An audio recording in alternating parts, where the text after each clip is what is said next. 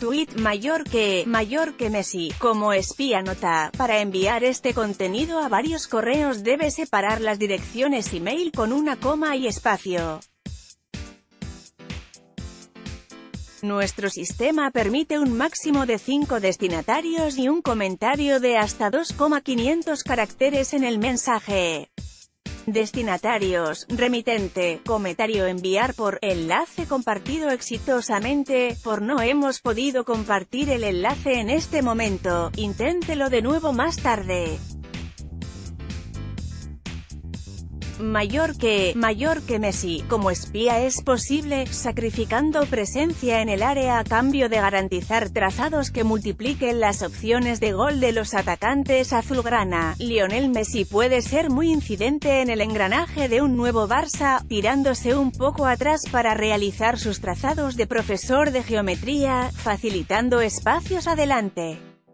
Lo hizo el domingo, el mundo mágico de la abuela resultaba fascinante, vivía dentro de él. Era su mundo, hubiera dicho García Márquez del argentino Lionel Messi, según para muchos, el mejor jugador de fútbol visto en acción en los últimos 10 años con un agregado de Thierry Henry, año tras año. El Messi que vimos frente al Sevilla en la disputa de la Supercopa de España, sin haber tocado una pelota en juego oficial desde la eliminación de Argentina en la Copa del Mundo, fue notablemente funcional como filtrador, estableciendo conexiones precisas constantemente tanto con los hombres que se mueven en el área, Luis Suárez y Usman Dembélé, como quienes se mueven a su lado, a lo o se proyectan por las bandas, como Jordi Alba el domingo, y Sergi Roberto, y asegurar que la presencia de Arturo Vidal, sea una amenaza agrandada. Puede que veamos a Messi un poco atrás, garantizando el mejor manejo de los hilos de este Barcelona que no tiene a Xavi y tampoco a Iniesta, esperando que Arthur se adapte lo más pronto posible, con Busquets como freno, recuperador y contragolpeador, como Magnus Pime el británico y Ole Carré publicó en 1986, uno de sus libros clásicos sobre espionaje, El espía perfecto. Eso podría pretender el técnico Valverde con la funcionalidad de Messi en este 2018 a 2019, multiplicando las oportunidades del equipo azulgrana. Un personaje como Magnus Pim, capaz de desaparecer, burlarse de todos sus perseguidores, crear desajustes y prevalecer como factor de desequilibrio. Si hay alguien en la redondez del planeta, capaz de eso en el rectángulo de juego, es Messi, sobre todo, en esta etapa de su carrera, cuando con la rivalidad con Cristiano Ronaldo evaporada en la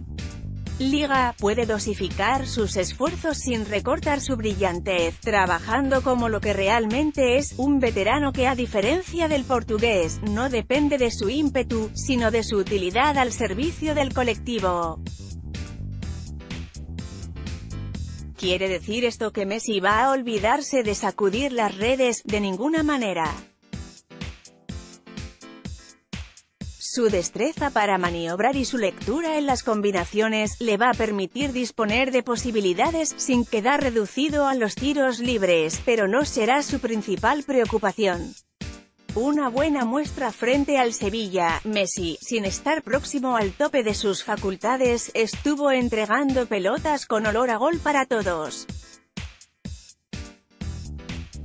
El Barça no debió haber sufrido tanto hasta el punto de necesitar que Ter Stegen, el arquero alemán, detuviera un penal en el minuto 90 para asegurar el 2 a 1